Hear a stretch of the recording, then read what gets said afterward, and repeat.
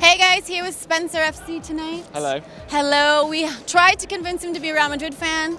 I don't know if you ended up being a Real Madrid fan tonight. Listen, I mean, I'm used to my team losing, so in many ways it's similar to my team. But if I'm going to become a fan of one of these two teams, I need to, I want to change that. I went in there with an open mind. I wanted to see what happened with the football, and to be honest, I said before I was kind of a neutral, supporting both teams and um, well, supporting football in that sense. And I, I was entertained. It was an entertaining game completely get why the Madrid camp will not be happy with it. It was pretty diabolical from Madrid, yeah. really. I think. Um, the main thing for me is that they just look like a load of individuals on there, like especially going forward. You know, Bale, Ronaldo, Benzema. No one can, uh, no one can doubt their quality. Right. But there was no connection. There was, to be fair, in the second half, you guys had a lot more chances, and Bravo in goal. Yeah. I mean, bravo for Bravo, we have to say, because he was unbelievable in the second half. You, you probably could have had a couple goals, but realistically, you're never going to get as many as Barcelona. And to be honest, I think if you'd got a few, made it 4-2, they would have gone and got another one if they wanted to. They were just so superior to them. I don't know what's going on. The Real Madrid squad is, is quality, but you know, I, I, heard some quote recently, Ronaldo saying that he,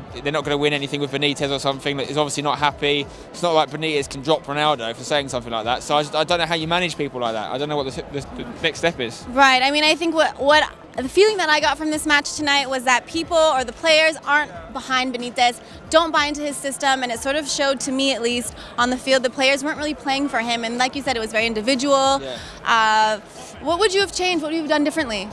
At the half, I guess. I mean, I thought you came out second half quite lively. Like the first five minutes was all Real Madrid. You had three three chances in short succession.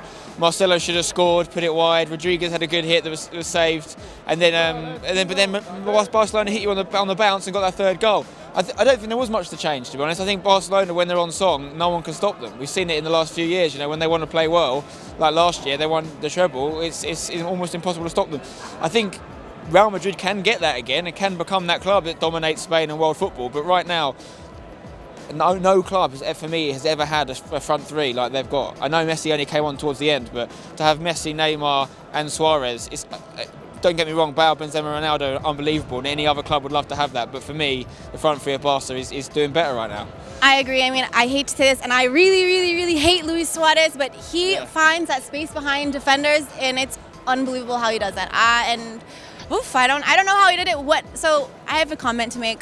What did you think about the starting 11? Uh, were you surprised at the, the players that he that he started? For the Madrid 11? Yeah, for Madrid. Um, not particularly. I felt like it was pretty consistent with what I've seen them use in the past. I mean, you had to, uh, correct me if I'm wrong, but you had the, obviously the front three that doesn't tend to change too much.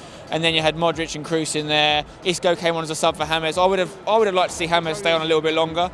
Um, Marcelo I thought was doing really well. I don't know if he had an injury, but he obviously got subbed off as well. He, he's coming back from an injury. He right. just came back from an injury, and it looks like he wasn't. I mean, it may have re-injured himself. I'm not exactly sure. Yeah, he was getting forward well. Uh, defensively, obviously, there was question marks over Ramos and Varane at the, at the back today. Um, but I, I, don't. I'm not necessarily laying blame at the, at the doors of Madrid. I'm just praising Barcelona right now. It's just unbelievable to see. Yeah, it's kind of disgusting. Yeah. I'm agreeing with you on Suarez though. I don't, I don't like him as a man, but no. you can't not respect him as a footballer.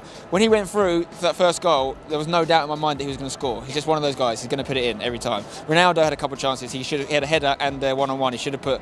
You know, Suarez might put them away. Ronaldo wasn't that efficient tonight. He was not efficient tonight, and it looked like. I mean, I had that feeling where he thought he. It looked like he was nervous going into those goals where I think uh, Ronaldo two years ago would have put them away, like Suarez putting them away, yeah. and he had those that one v one with the goalkeeper that he totally shanked, and it's just like?